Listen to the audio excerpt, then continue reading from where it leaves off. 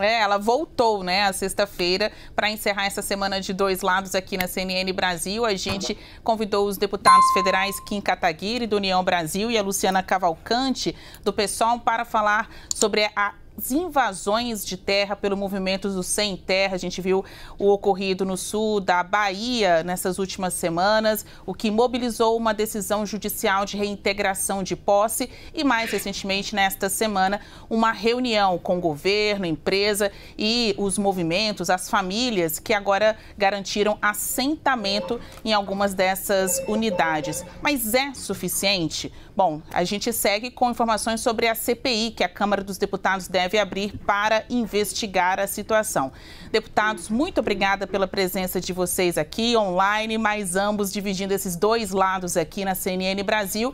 Eu vou começar com a Luciana Luciana Cavalcante, do PSOL. É, essa forma do MST reagir, pedindo reforma agrária, invadindo terras, muitas delas produtivas, é uma maneira legítima de protesto, na sua avaliação, deputada Luciene Cavalcante?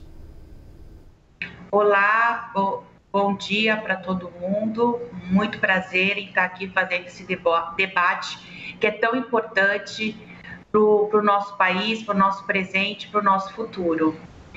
Quero dizer que o MST é um dos maiores movimentos sociais e políticos que a gente tem na nossa história, que faz um debate que é fundamental para a gente pensar em justiça social.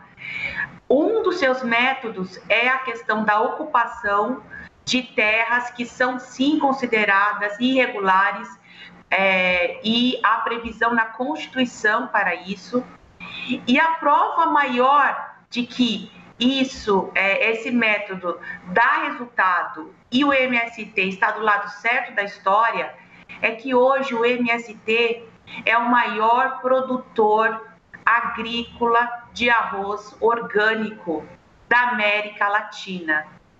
E essa produção é feita em mais de 360 assentamentos que estão no Rio Grande do Sul, após terras que foram consideradas, foram ocupadas para o trabalho da agricultura familiar e veja bem o resultado que a gente está dando.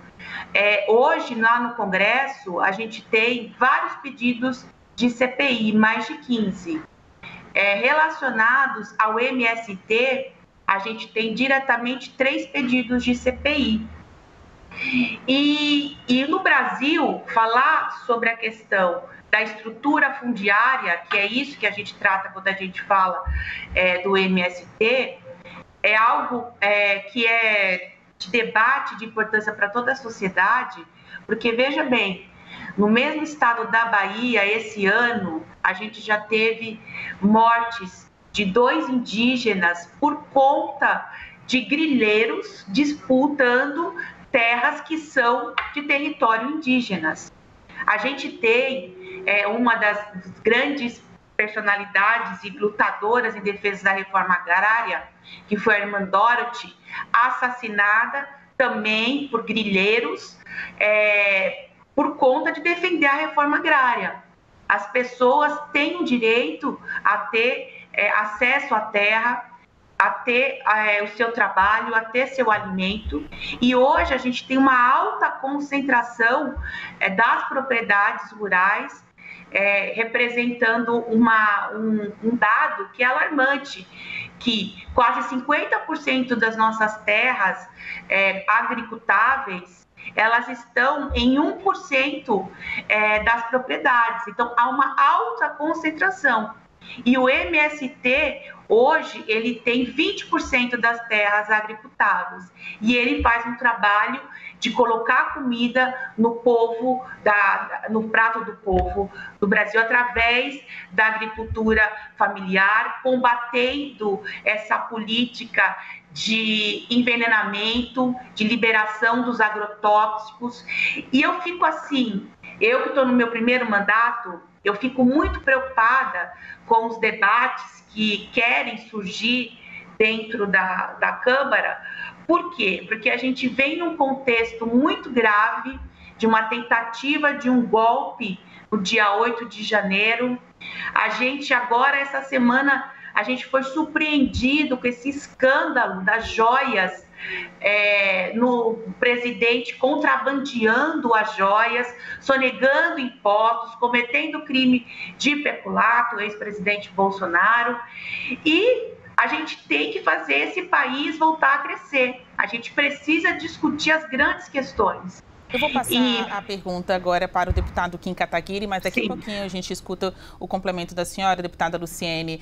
A pergunta é: invasão de terras é uma forma legítima de protesto pelo MST, que quer que tenha aí uma bandeira muito maior, a de reforma agrária, e levando em consideração toda a importância deste movimento para a agricultura familiar, para é, o trabalho que é feito em prol da sustentabilidade das terras, como como bem destacou a deputada pelo PSOL. Kim Kataguiri, parlamentar de oposição, integrante do União Brasil. Na sua avaliação, invasão de terra é um protesto legítimo?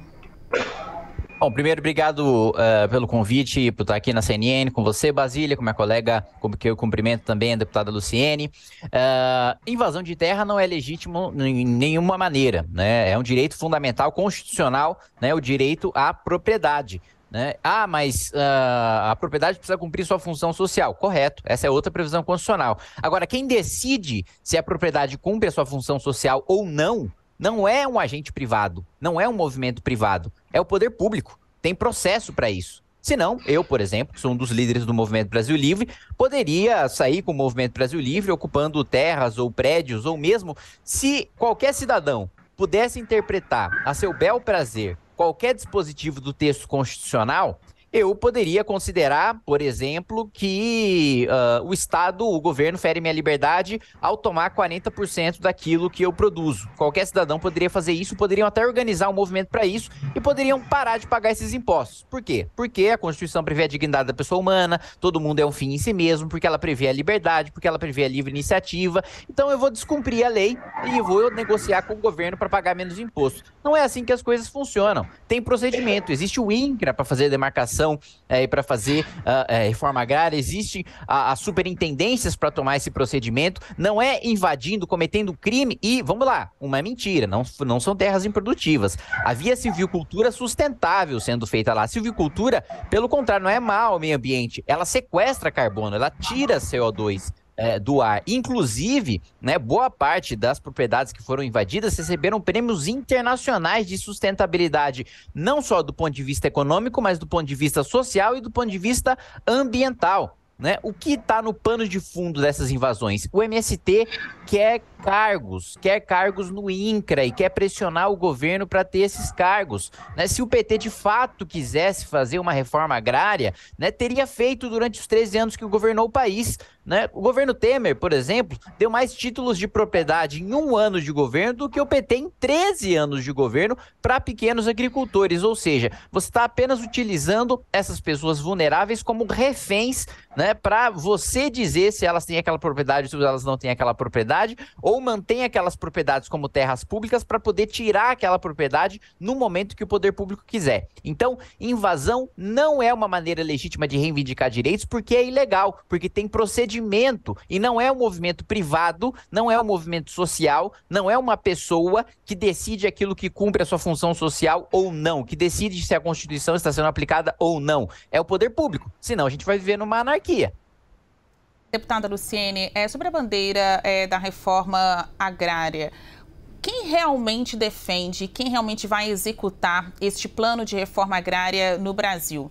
O pessoal defende, o MST, obviamente, por ser algo é, da particularidade do movimento, mas na conexão com o governo, o quão esperançosos vocês que defendem o movimento agrário é, estão na reforma agrária sair neste mandato de Luiz Inácio Lula da Silva?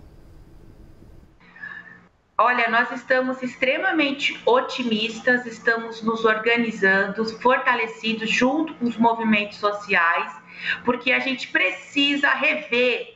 Para a gente refundar esse país, a gente precisa fazer a reforma agrária, a gente precisa fazer a reforma urbana, e isso passa por a gente abrir a caixa preta, por exemplo, da Lei Candir, Porque existe uma desoneração milionária é, que é concedida ao agronegócio e a gente não tem acesso ao que isso impacta no, no conjunto das políticas públicas sociais da população.